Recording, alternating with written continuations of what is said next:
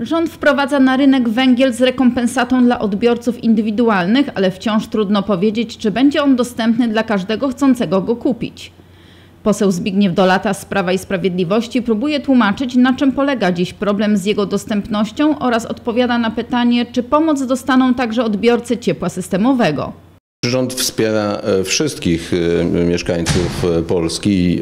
To, to nie jest tak, że to jest pomoc uzależniona od tego, czy ktoś mieszka w zasobach prywatnych, w domku jednorodzinnym, czy mieszka w zasobach komunalnych, czy w spółdzielni mieszkaniowej.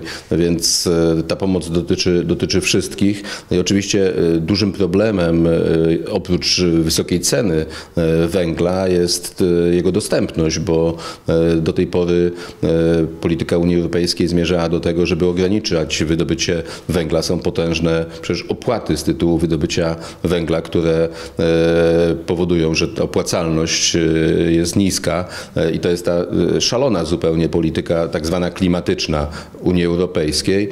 No i w związku z tymi działaniami, które były realizowane przez ostatnie lata, po prostu wydobycie krajowe, przecież mamy bardzo duże zasoby węgla, było sztucznie ograniczane. My oczywiście rozwijamy działalność kopalń, ale to nie jest tak, że można z minuty na minutę zwiększyć wydobycie o kilka milionów ton. Tutaj e, zastąpienie tego węgla importowanego przez prywatne firmy z Rosji e, nie jest rzeczą prostą, zwłaszcza, że w całej Europie jest ta sytuacja, w całym świecie i tych źródeł węgla jest stosunkowo mało, więc dzisiaj pan premier podjął decyzję, aby spółki Skarbu Państwa importowały węgiel do czasu, ten import do czasu zwiększenia krajowego, krajowego wydobycia, no to jest niezwykle ważne. No a ustawa, którą y, kilka dni temu podpisał e, pan prezydent, y, stanowi, że y, każdy obywatel będzie mógł kupić do 3 ton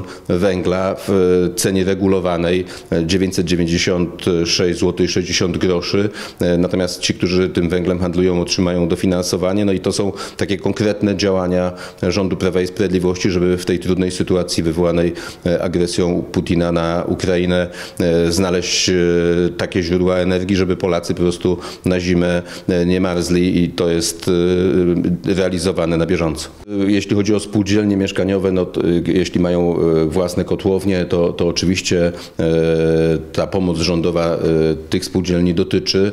Przy cieple systemowym jest to znacznie trudniejsze i będziemy robili wszystko, aby również tym odbiorcom ciepła e, pomóc. E, tutaj e, niezwykle ważne są właśnie takie działania, które zapewnią dostępność, bo im więcej będzie tego węgla na rynku, tym cena będzie niższa, więc to jest to wielkie wyzwanie. Mówiłem właśnie o tym, że premier wręcz wydał polecenie spółkom Skarbu Państwa, aby zapewniły ten węgiel energetyczny dla konsumentów indywidualnych, nie tylko dla przemysłu, ale, ale również dla konsumentów indywidualnych. Przypomnijmy, że PEC ogłosił już wzrost ceny ciepła systemowego w Gnieźnie.